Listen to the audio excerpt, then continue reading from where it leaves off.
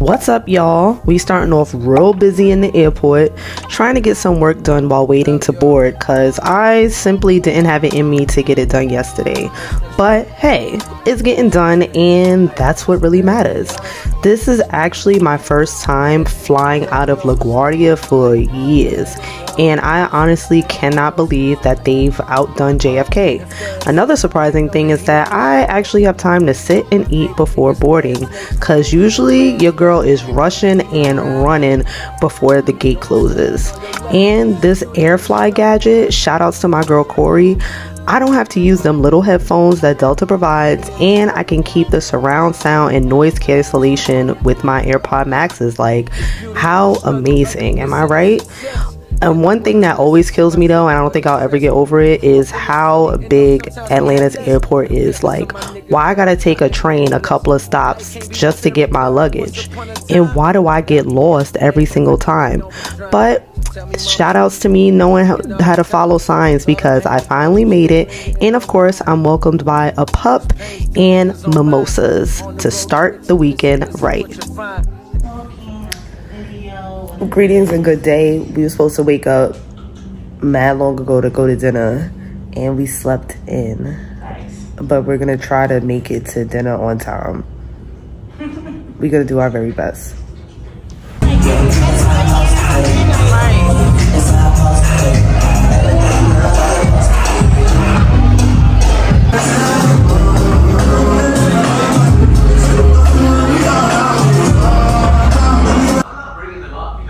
Because now we need to stick together. Sticking together means telling the truth. So tell me, whose idea was to cut that deal? Yours or Jessica's? It was hers. I want I record our night out. I don't know if this is catching anything. I'm sorry. I ain't sorry. No. Sometimes. Ever so often. Good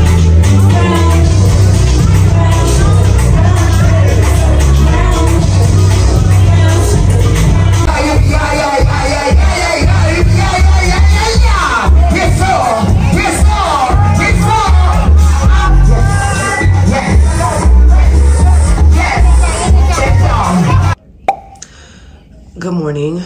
It's like you guys are only catching me at my worst. But we went out last night. We got back late as hell. So I don't even know how I'm up right now. I popped up at 8 o'clock and we probably went to sleep like 4.30. But here I am. And today we're gonna get ready for brunch. I say we stop by first time.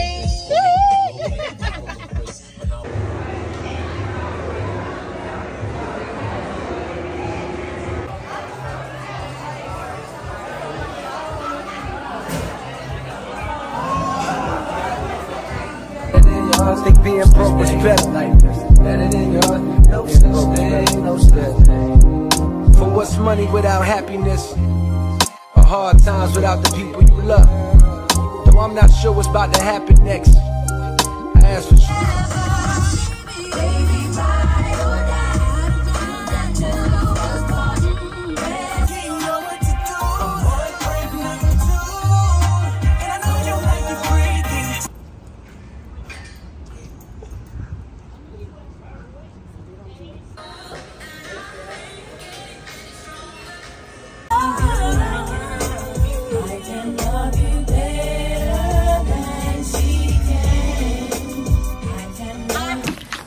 Mozzie. When we go over there, I'm gonna want guac again. Yeah, me too. like, I want the same, even though I got the guac in the fridge, I want the same shit. And I'm You going to yawn in my face. Mozzie. so annoying. Ow, ow. Ow. Mozzie, listen. I mean, this is actually better. Ooh. relax. That's how he turned his head. You can't come out stink. Oh. Oh.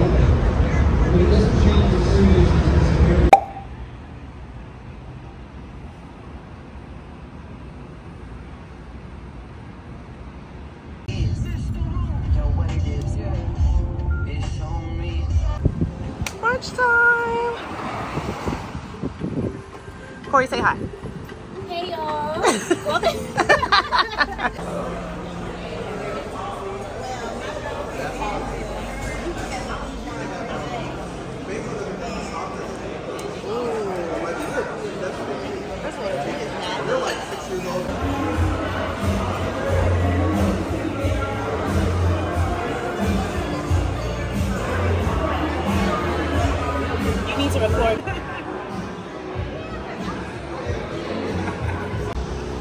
The best place ever. The best place ever.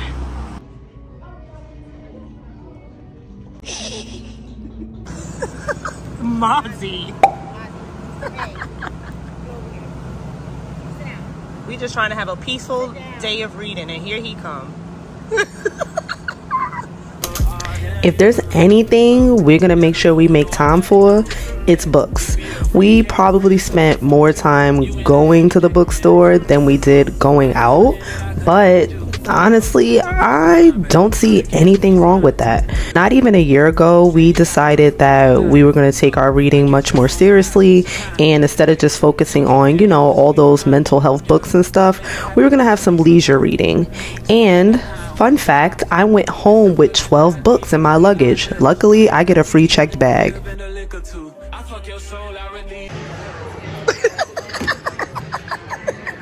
I was ready.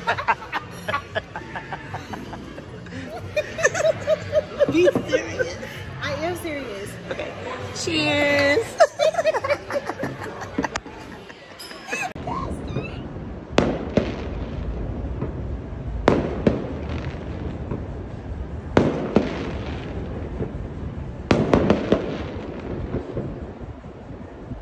Okay, fine.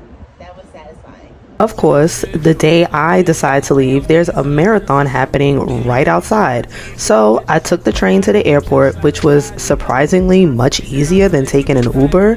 And praise God that the flight was smooth because I forgot to take my motion sickness pills. I landed back in New York City safe and sound and spent the next day working my ass off in Starbucks. Then, just like that, it was time for me to touch back down in Philly and reset for the rest of the work week.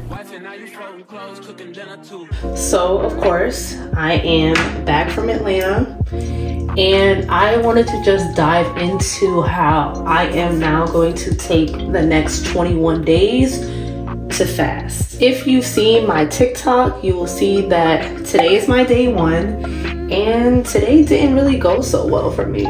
Like, terrible day one. Instead of allowing the day to defeat me and to succumb to my emotions and my mood swings and all the other good stuff that comes with being a woman and having anxiety about like taking my time and doing things, I'm gonna backtrack and give myself, as I said, the space to just breathe. For this fast, I like originally was making it like, you know, all about hitting goals and uh, getting refreshed, like spiritually, mentally, emotionally, physically, and such. And of course, it will encompass all of that. However, I'm also making sure to just acknowledge that each day of this fast is not going to be perfect.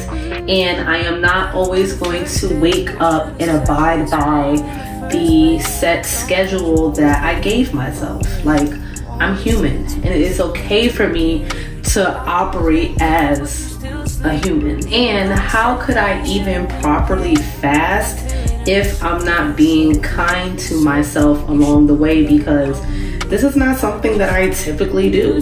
So, during this journey, I am going to make sure that I am reading more. I am going to make sure that I am journaling, that I am talking to God, that I am in my Bible, that I am practicing my yoga and doing strength training and meditating and making sure that there are greens and veggies incorporated into nearly all my meals and just better taking care of myself from the inside to the out.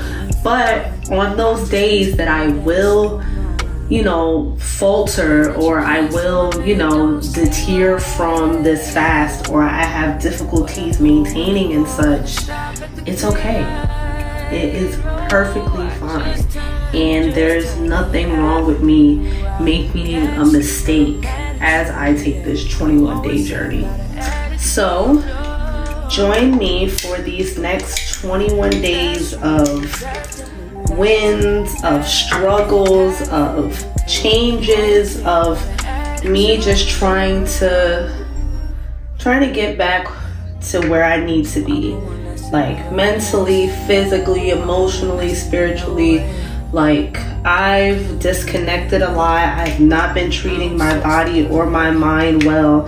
And I want to take these 21 days to really build back the discipline that I had, like, literally a few weeks ago. Over the last year of my life, and I'll talk about this in another episode, another episode, another video, but I have improved so much and I am living in so many things I've prayed for that sometimes I just cannot believe it. And sometimes I think about the things that I still don't have that I'm still praying for.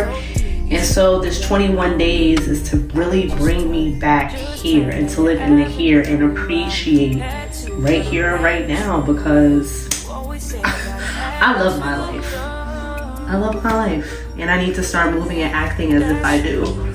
So let's get busy on this 21 day journey and stay tuned for more. Bye. Why you talking to me like you be like? Why you always wanna be right?